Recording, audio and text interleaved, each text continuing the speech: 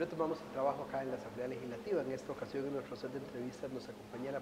la diputada del Partido de Liberación Nacional, doña Yoleni Leo Marchena, presidenta de la Comisión de Control de Ingreso y Gasto Público, integrante de la Comisión de Asuntos Sociales, este, con quien, dentro de otras comisiones, con la que vamos a conversar algunos temas importantes. Doña Yoleni, eh, usted preside la Comisión de Control de Ingreso y Gasto Público, una comisión importante y trascendental para la fiscalización de la hacienda pública. Hoy recibieron a los exministros de Obras Públicas y Transportes que hacían algunos señalamientos al actual jerarca de esa cartera sobre el cierre de las, eh, de las empresas de asfalto del país este, que, realiza el Ministerio de Obras Públicas y Transportes, en un claro señalamiento de la falta de coordinación institucional y del mal manejo que se estaba haciendo de la labor este, que se venía planteando ahí y que ha sido algo de lo que ustedes, los legisladores, les han señalado al Ministerio de Obras de Obras Públicas y Transportes. ¿Cuál es la valoración al final de esta comparecencia que hacen ustedes de la gestión de ellos y del actual jerarca de esa cartera? Bueno, vamos a ver, me parece que hay tres resultados contundentes de la comparecencia del día de hoy y de la comparecencia anterior del ministro Méndez Mata. La primera es que teníamos una política nacional de querer ayudar a las comunidades a través de asfalto y sin ninguna razón esa política dejó de tener sentido un poco por el tema del traslado de competencias del el hacia las comunidades y en este sentido pues el MOP tiene ahora una infraestructura que son plantas asfálticas de las cuales ya no, ya no hace uso, ¿verdad? Esa es la primera conclusión que sacamos. Cómo de repente perdimos una visión país y no hemos hecho nada para subsanar esa visión país. El otro tema importante es que hoy nos queda claro que parte o algunas de de lo indicado por el ministro Méndez Mata en su comparecencia anterior en la Comisión de Ingreso y Gasto parece ser incorrectas. Hoy pudimos ver documentos y escuchar una comparecencia donde hay claramente contradicciones entre lo que dice el ministro actual y dos exministros anteriores. Y la tercera conclusión a la que yo llego con la comparecencia del día de hoy es que en este país seguimos viendo los bienes públicos como bienes de difunto, ¿verdad? No importa si hoy le damos una utilidad y mañana decidimos ya no utilizarlos. Y eso tiene que tener en este país ya un, cierre absoluto. Nosotros no podemos darnos el lujo en este país de hacer inversiones importantes con recursos de todos los costarricenses y sencillamente dejar de usarlos o hacerlos a un lado sin ninguna razón. Eso es algo que ha generado también mucho malestar en la ciudadanía, precisamente, diputada, porque la gente no ve una política pública o no ve un proyecto país trazado al,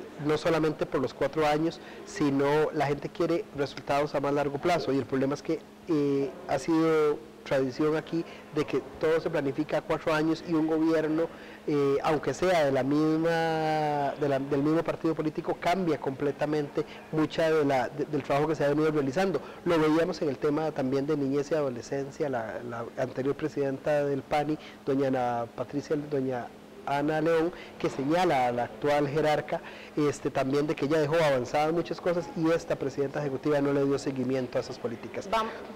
perdón que lo interrumpa, este, vamos a ver, nosotros tenemos que superar como país algo que se llama las muertes administrativas, ¿verdad? Cada vez que hay una administración, finaliza una administración y llega una nueva, muere todo lo que esa administración estaba haciendo, indistintamente si lo que se hacía era bueno o era malo para el país, ¿verdad? Creo que esa es una etapa que ya tenemos que superar de una vez y por todas, porque es más el daño que le hace al país que los beneficios que se reciben. Esto no significa que hay que llegar y retomar todo lo que estaba y sencillamente eh, seguirlo, ¿verdad? Esto significa que hay que revisar todo aquello que esté bien, darle el seguimiento y todo aquello que no está tan bien, pues tratar de ajustarlo para poder darle la continuidad y poder hacer que los recursos de los costarricenses sean recursos realmente eh, que estemos sosteniendo con el tiempo y les demos la efectividad que se requiere.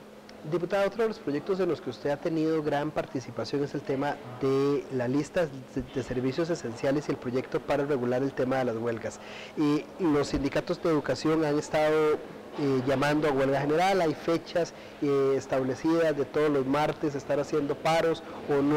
o, no ejercer, este, no, no, trabajar por parte de los gremios de educación. Eh, ¿Cómo vemos esos proyectos y qué tan pronto está de poderse le dar un, un, avance a esos dos proyectos de ley importantes para regular el tema de las huelgas? Bueno, primero iniciar diciendo que a mí me duele muchísimo que otra vez nuestros niños y nuestros adolescentes, casi un millón, estén siendo afectados por movimientos de, huelga, principalmente movimientos de huelga que no tienen que ver nada con los patronos, sino que tienen que ver más con eh, huelgas políticas que ni siquiera están tipificadas en este país. A mí me duele muchísimo el ver eh, que nuevamente esos son los afectados. Lo segundo es que el proyecto, bueno, ya está en plenario, estamos esperando que jefes de fracción se pongan de acuerdo para subirle el orden del día y ponerlo en los primeros eh, lugares. Y una vez que esté ahí, pues proceder entonces con la votación pertinente que, requiere todo. Pero hay una negociación previa, ¿ya hay algún, se ha estado hablando con los jefes de fracción para darles viabilidad? Sí, ya hemos estado conversando, yo particularmente he hablado con algunos jefes de fracción, estamos midiendo tiempos también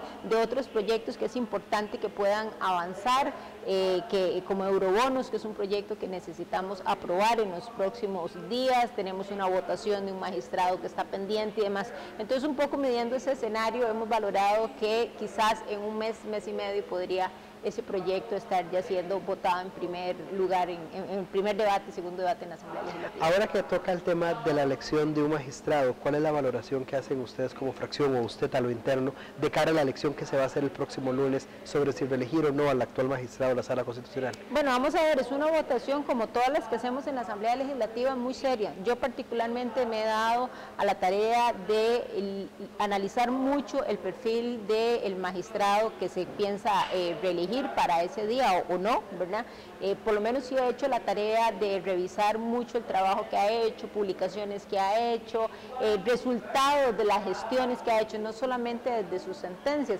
sino también desde las diferentes labores que él ha venido haciendo en comisiones y demás dentro de esa gran estructura que es el, Ministerio. ¿Y ya tiene su voto? ¿Ya, ¿Ya, sabe cuál va a ser su voto? Yo le digo que no, todavía no, todavía no lo tengo definido, sigo leyendo documentos y sigo buscando información que me permita tener un criterio Con 39, señoras y señores diputados.